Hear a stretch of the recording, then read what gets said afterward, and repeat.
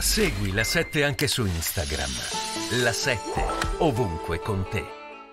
sanzioni ci vuole tempo perché mordano realmente. Sì, ci vuole tempo, anche se le sanzioni che stiamo adottando, che, eh, che hanno adottato i paesi europei e gli Stati Uniti, la Gran Bretagna, sono sanzioni che non erano mai state fatte fino adesso, Sì. quindi eh, come dire, sono sanzioni molto dure. Ci vuole tempo, però indubbiamente ci sono dei dati che fanno riflettere, e due su tutti, eh, la, la decrescita e l'inflazione.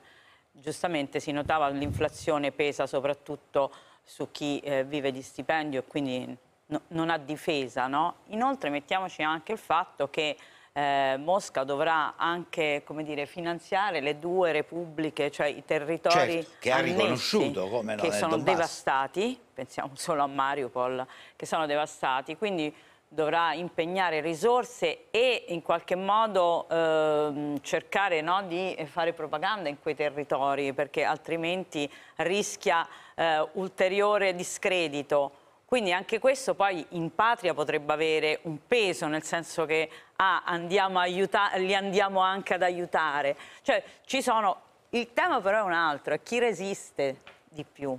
Noi, è una- mi viene da dire noi o loro, perché c'è un noi una guerra e di c'è un loro. spaventosa, E certo. quello che dicevo prima, cioè in comunque quello è una, eh, un regime autoritario, non è che hanno il problema delle amministrative del 12 giugno, per cui magari uno si improvvisa di fare un viaggio a Mosca, Mm. piuttosto che delle eh, elezioni politiche del 2023. Parlo dell'Italia, ma potrei parlare, Sì, abbiamo visto la Francia che Sì, sì, di molti fino a altri quando paesi, non, sì. non c'è stata l'elezione all'Eliseo, non si è determinato chi avesse vinto, cioè era calato il silenzio su embargo, sanzioni, non si parlava più di nulla.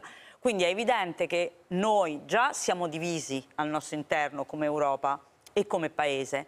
In più mettiamoci che abbiamo anche degli appuntamenti elettorali sparsi, diversi, non coincidenti, quindi ehm, anche trovare una posizione unitaria. Inoltre ci sono anche degli elementi preoccupanti, tipo il posizionamento di Orban è un elemento preoccupante. Cioè, ehm, Questo vedremo poi anche oggi perché io, eh, insomma, che ho una di- discreta memoria, ricordo che Borrell più volte queste ultime settimane ha annunciato l'accordo eh, sullo stop al petrolio russo e poi Vedremo abbiamo stasera. visto... Vedremo stasera, sappiamo che è una mattinata di eh, lavoro dietro le quinte degli ambasciatori dei 27 paesi, poi vedremo eh, se porteranno un documento di compromesso, se ci sarà nella riunione dei capi di Stato e di Governo che comincia oggi pomeriggio. Allora, andiamo in pubblicità e ripartiamo dalla corsa.